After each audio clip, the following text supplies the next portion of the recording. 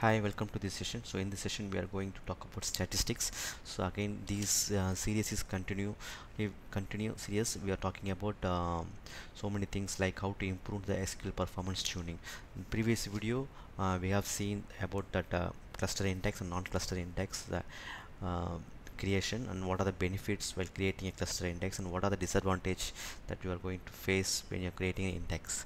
So these things that we have discussed uh, in the previous video in case if you don't watch that video please go and watch it. I'll give the link in the below subscription. In this series again you know uh, we are going to talk about uh, statistics. So in SQL the statistics is very important um, thing that we need to consider when it comes to uh, performance tuning let us uh, see what is statistics and then what how, how how to create statistics how to maintain the statistics. What are the items that we need to consider uh, to improve the SQL performance in statistics? We'll see uh, in more detail in this video. Okay. Here uh, this is statistics uh, statistics is the object. It's contain the statistical information about the uh, column. I mean even it may be a one or more columns of a table. So it will collect all the information uh, about the table like uh, number of rows it is having what is the uh, type uh, how many rows that exact the table which is having. Those details uh, maintain the statistics. When you're creating a table the uh, SQL will automatically create the statistics about that I mean the information about that table. Uh, what is the use of statistics? Okay. Uh, suppose for an example you are passing a query uh, to get data. So basically even if it is simple query or it's a complex it always go through the query optimizer. Query optimizer it will uh, use the statistics details and it will give the uh, estimation plan for the query uh, so based upon the estimation plan the SQL will allocate like uh, the hard drive I mean the space and the RAM for to execute the query. So uh, here that execution plan will make big role uh, to get the proper output. In case if you if you don't have any updated statistics report you will not get the proper output from the SQL so that is that is the reason we have to always maintain the statistics for a statistics about that particular table okay? Uh, this is the uh, uh, overall uh, definition about the statistics. As I said this is very very important in order to make it uh, table up to date about the statistics report.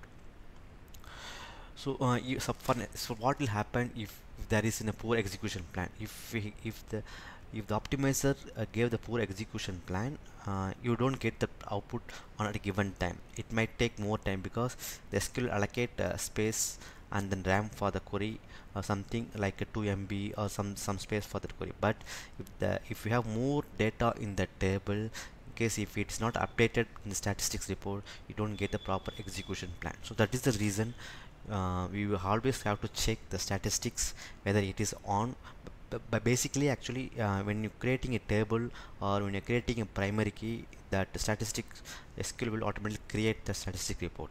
You don't need to do anything uh, explicitly. But if you switch off that statistics then again it's a problem. So you, al you always have to make sure that statistic is on in the SQL database okay let me go to the next slide. Uh, we'll discuss how to create statistics. As I said right SQL server automatically create statistics when you create table with the primary key. When you rebuild an index automatically even if you create any index like a cluster index or non-cluster index the statistics is updated the default. By default it will automatically update. Unless until if you don't turn it off it will update all the uh, statistic report automatically. I'll show you in demo uh, where we need to uh, check the whether statistics on or off in the database. I'll show you everything in the demos uh, section. I hope it's clear now. Uh, so in this slide we have seen like what is statistics and what is the uses of statistics and then uh, how to create statistics. So those details I think uh, we have covered. With that maybe we can move on into the demonstration okay uh, this is first you have to go to database properties. Here my database is test. So I just I right click the database and then choose the properties option. So you will get this kind of a uh, window. So here you need to go to option and then you have to check this auto create statistics it should always be true. By default it is it will be always true. And this one you have to check and then auto update statistics also you have to check. These two things it is uh, mandatory. It should be in only in true if you make it as a false then it will affect the performance in your database. So when you're going to check your uh, database performance you these things that are you have to check uh, whether if it should be always in true and then uh, these two options should always be in the true status okay? Next I will show you how to uh, uh, I mean um, the statistic reports will help us to get, uh, I mean the give the better execution plan. I will show you by running some query okay I take this table as a product. I mean here we have a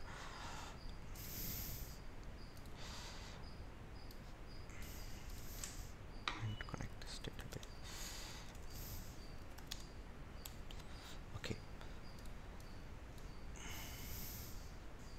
Okay here if we have if we just go to that execution plan um, I'm just going to run this Dis display estimation estimation execution plan. You have to choose that option. It should be here. Uh, see this is display estimated execution. Just you have to click this one. It will give the uh, no estimated execution plan. If you see here here it's giving the details like estimated number of rows is 504 okay this is the estimation. For this estimation if you see what is the estimation? IO cost it has some value. CPU cost it has some value. These are all the estimation for this query. Okay the optimizer the help of the statistics report it's giving this kind of an execution plan. Okay in case if the statistics is not updated or if it is set up as a false then you don't get a proper estimation plan. That is why that is the reason you have to be make sure those option be always set as, as on. Okay. Now if you see this is the um, estimation plan. Actually that row uh, the query is not executed but this is we are showing we are this is giving the plan for that query. Okay. Now the total rows is showing as 504 okay. Now we'll see we'll run the execution and check. Okay. If you see here total number of rows is 504 it's proper. I mean the execution plan has got matched with that uh, uh exact estimation plan. Okay. There'll be no difference in this kind of an execution because the statistics is up to date. Okay. Now okay. Now we will add some more data in the table and we'll see uh, what is the execution plan now. So now I'm going to add some more uh, rows I mean data in that product table.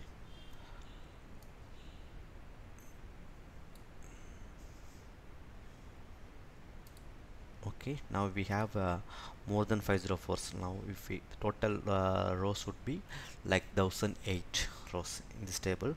Now we will see that execution plan now. Display estimated execution plan I am checking. If you see the execution plan is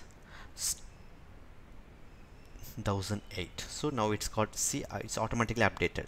The statistics is updated automatically. Now if we see the estimation number of rows is 1008 sometimes you know it will take some time to update the statistics.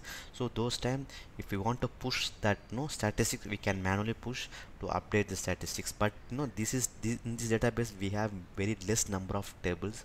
I have only one table actually. So but that is the reason it is updated immediately. Statistics report got updated immediately. Sometimes it has taken some time.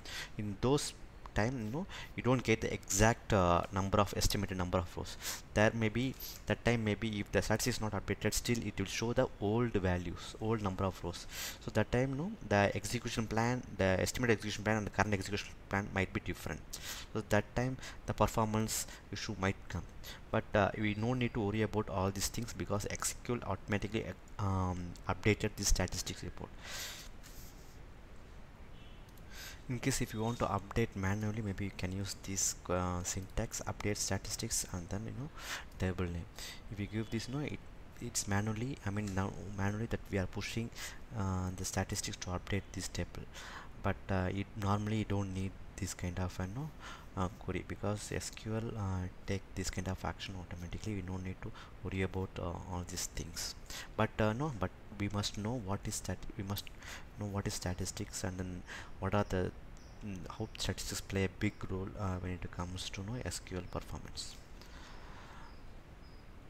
so now we have learned what, what what are the statistics how it's play a role uh, to create you know estimated execution plan how that plan the query optimizer is creating by using the statistics and when you're executing that query uh, how that you know CPU cost and memory how that you know query optimizer is determined by using this kind of one statistics report. So the statistic report is, is a, it has to be always you know should be on. It otherwise you know it won't the performance might be uh, decrease the database. I hope this session would be helpful. In case if you have any comments about the statistics please know uh, give your comments on that uh, that comment box. Thank you all. Thanks for watching